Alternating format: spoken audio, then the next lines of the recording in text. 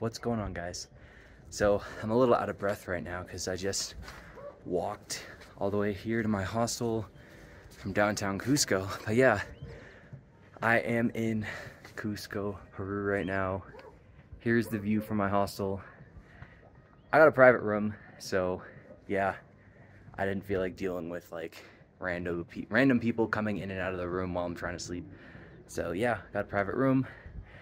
This is awesome, but the purpose of this video, I actually got inspiration from it on my way here just now, and uh, I'm gonna go in my room right now, and I'm gonna show you guys a little bit of a shopping haul that I got while I'm here in Cusco, and kind of do a little comparison on what what shit would be costing me in the US versus here because I just kind of did the conversion and I was a little bit surprised, but in a good way. So stay tuned.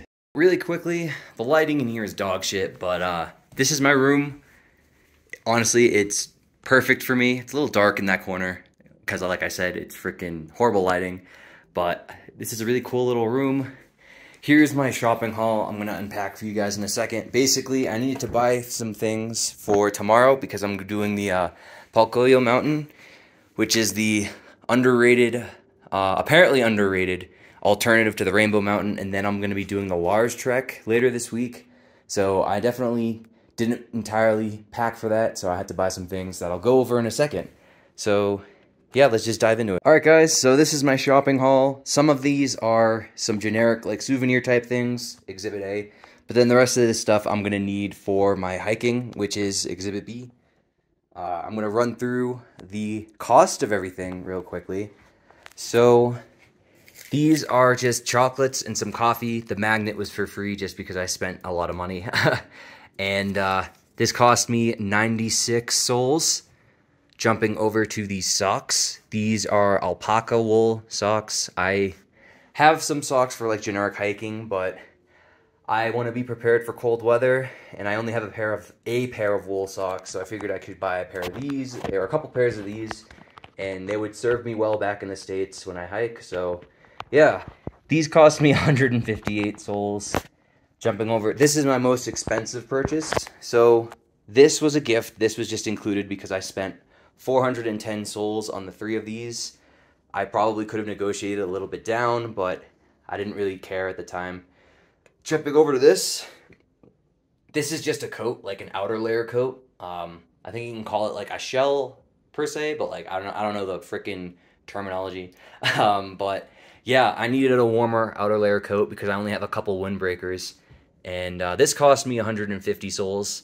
And then this stuff, I want to say, also cost me 100 soles. but I'm not 100% sure. These are just some souvenirs that I bought for... Well, this is a snow globe. I collect snow globes when I travel. But these three are uh, for my sister, actually. So, yeah, this is the haul. Everything that I just showed you, which is right here, cost me about 924 sols. So you might be thinking, wow, that's kind of a lot of money. Uh, that kind of sucks.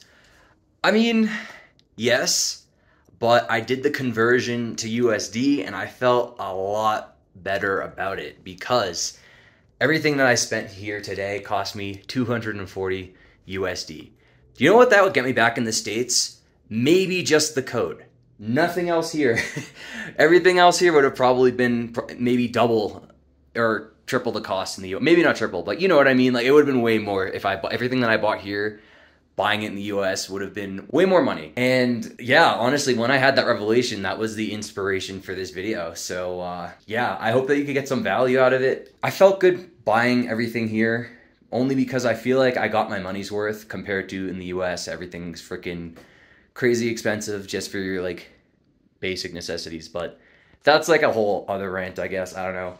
Uh, I just wanted to share this with you guys. Sorry, it's not like a full-fledged like hiking video or anything, but I will be hiking, like I said, the uh, Palcoyo Rainbow Mountain tomorrow and then the Lares Trek later this week. Maybe I'll vlog it or something, I don't know. But yeah, hope you like this video. Catch you guys in the next one.